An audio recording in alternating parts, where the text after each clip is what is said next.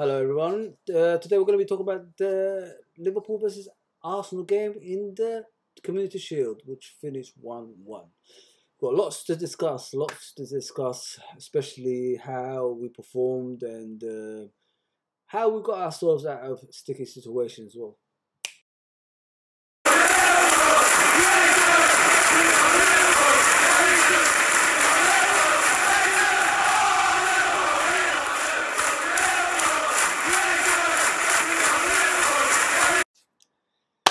Beautiful people. Welcome to LFC Red Forever channel. Today we're going to be talking about obviously the Arsenal game uh, in the Community Shield versus Liverpool, which finished 1 1. Uh, there's lots to talk about, especially how we played and uh, the chances we created, as well as Arsenal chances as well.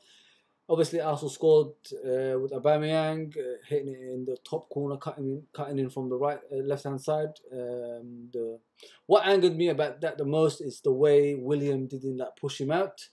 I, I don't want to have a go at the kid. I think he's going to be a brilliant right back one day, but I don't know what you people think.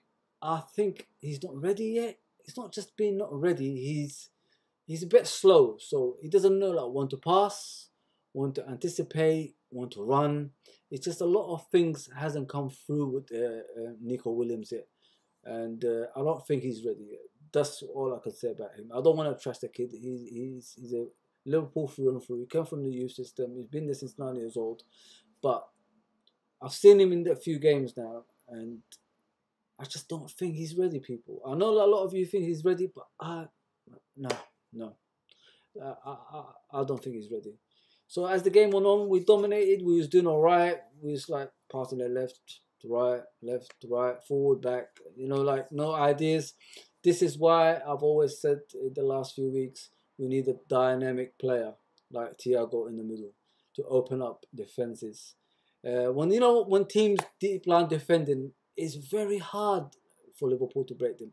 Maybe two seasons ago, two seasons ago, we was breaking them down and we would, we knew what we was doing. But now it's it's a predictable thing against Liverpool. The only way you could uh, play against Liverpool or beat them is going to be like deep line defending.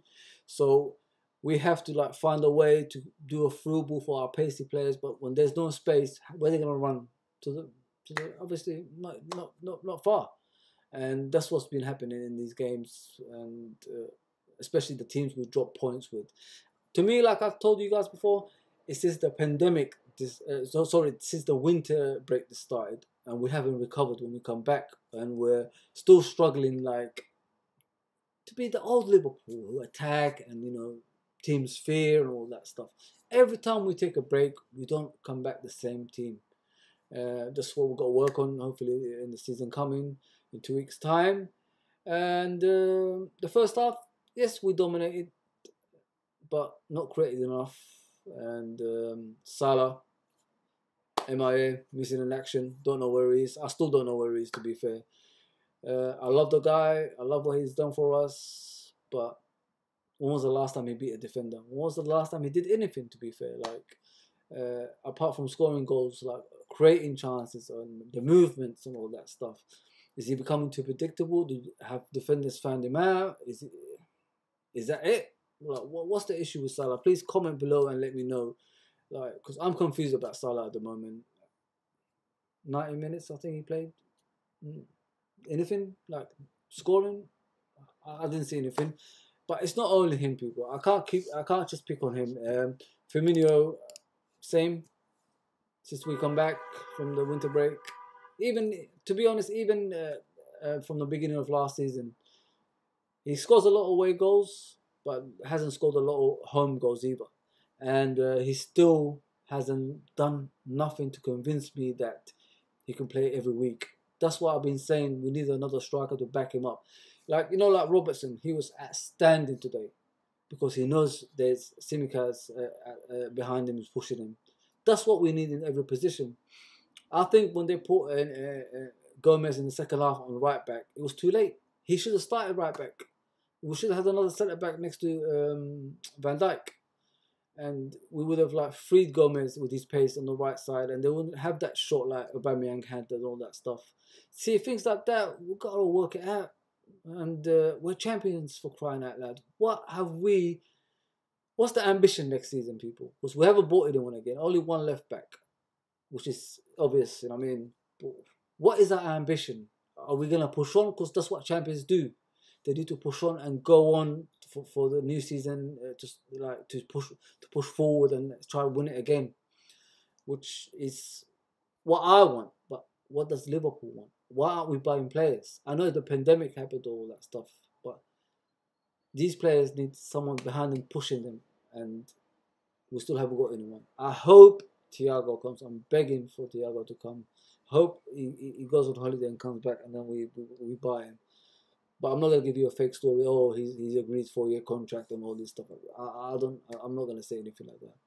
I hope we're linked with him. I hope he arrives as soon as he uh, finishes his break as well. Uh, Wijnaldum starts again ahead of uh, Keita. If we're unsure about One Wijnaldum, why is he starting games? Please explain that to me. You know I mean? He hasn't committed his future to Liverpool. He doesn't want to sign a new contract. So if he's got ambitions else, elsewhere, he's got to like not play. I mean, until we sort his issue out, don't play the guy. Play the players that's gonna be here for the long term, if you know what I mean. And uh, Fabinho, I don't I don't know what more to say about Fabinho. I love the guy. I complain a lot, a lot about him. I know that because he's a bit too slow, but he's a defensive midfielder. People, why is he always pushing forward and leaving the defense at the back um, isolated?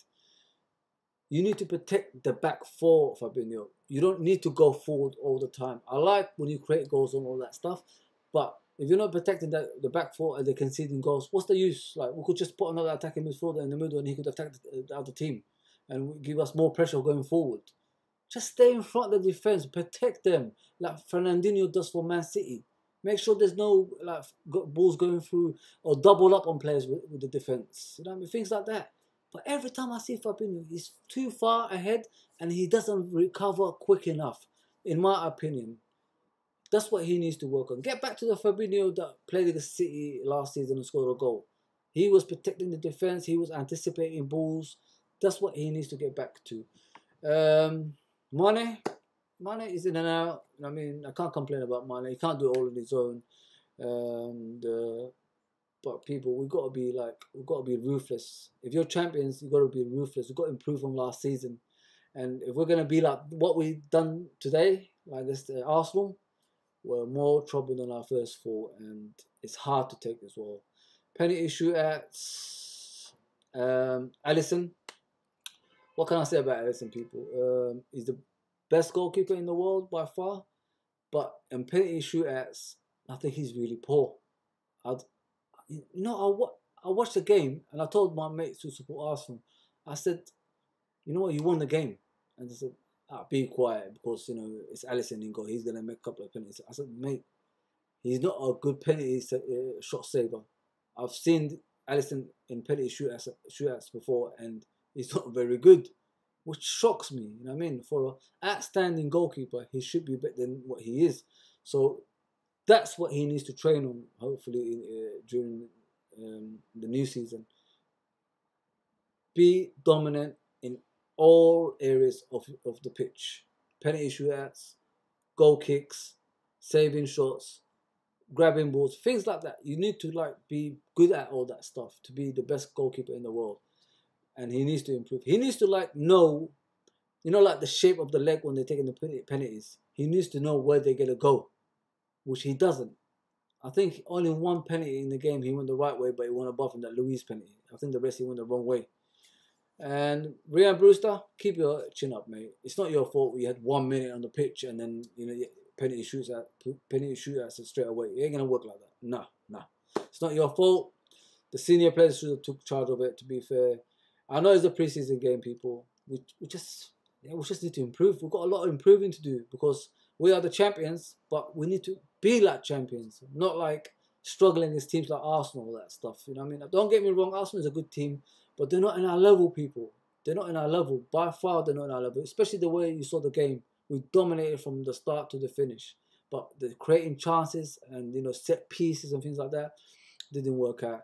We can't rely on right back like uh, Trent Alexander. He's a right back. Yes, he creates a lots of lots of chances, what what about the midfield? What about other players? What are they contributing things in the games so we can win it? Things like that we've got to work on people next season. Yeah. Um, I'll see you soon. Please like, share, and subscribe. Comment below, and uh, have your opinion about the game. Uh, just tell me what you think of Salah and what do you think of um, the team formation. Do we need to change things? Uh, what's our aim next season? Are we going to need improvements, more than one player, maybe two or three? And um, what's our ambition? I mean, because my ambition is to win the league again. Is it your ambition as well? Please comment below, like, share, and subscribe.